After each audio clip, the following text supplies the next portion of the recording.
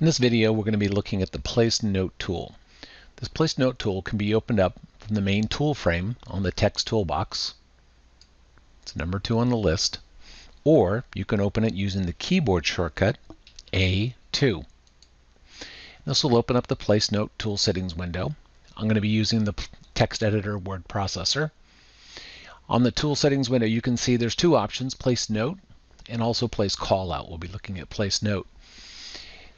This is a hybrid element. It's part text, part dimension. So you can see text style and dimension style listed there. Most of what controls it is the dimension styles as you're going to see. We'll be looking at text rotation, text frame, 7 foot, typical 50 foot scale drawing. We'll be also expanding the tool settings window here to get a look at some of the extended settings here.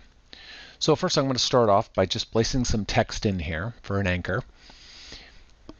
On the tool settings window, I'm going to be looking at, first of all, text rotation. Right now I have it set to horizontal.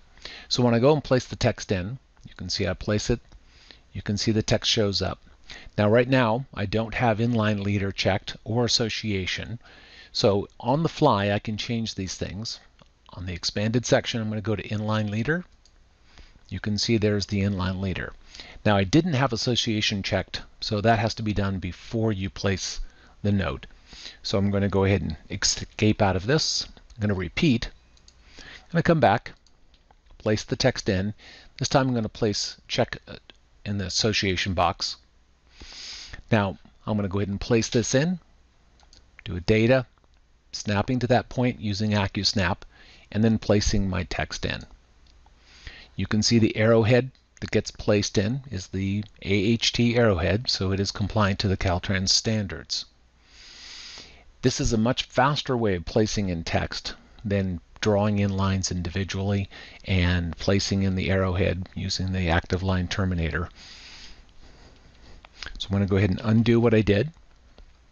And then we'll explore some of these other options here. First of all, text rotation. Right now I have it set to horizontal. As you saw, the text came in horizontal. I'm going to change this to vertical, and we'll see what the text looks like when I place it in. You can see it places in vertically. I'll zoom out a little bit and you can see as I move my cursor up above the axis, it'll flip to the other side. And I can do this dynamically. I can also change it to inline, which allows me to place it just in line with the leader line like that. I'm going to change it back to horizontal. Text frame, right now it's set to none. Typical one might one might use is box.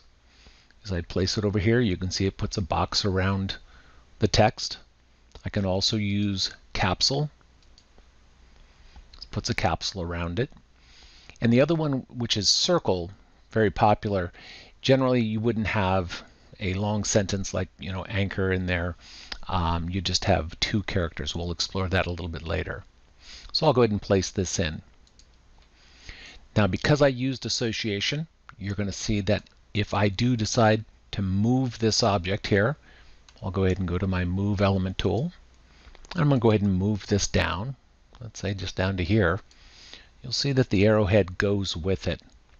Also, if I move the note, move this note down like this, you'll see that because it's a hybrid dimension and text, becomes a note, it will be intelligent. It'll go with it. And then if I move this object back up here, and placing it up like that, you can see the leader line and the arrowhead all go with it. That can be a great time saver. We'll go back to our place note tool. Now we're going to explore the option of uh, circle. So if I choose circle and I place in something like a number 23 and I place this in, you can see a circle appears around it. Now, the circle size is dependent upon how many characters I had. So if I added in another character, you can see the circle becomes larger. There is a way to lock this, and this will be explored in another video later eh, during the dimension styles section. So if I place that in, again, it's intelligent. It will go along with the object that it's pointing to.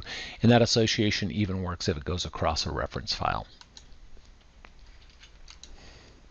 Do an undo, come back. We'll set this back to none. and have it set to horizontal. Next, we're going to look at the location option. Now, location, there's two options, automatic or manual, and automatic is probably the most commonly used one in conjunction with line. Line has two options, line or curve. So having it set to automatic in line is, produces a note like what you saw.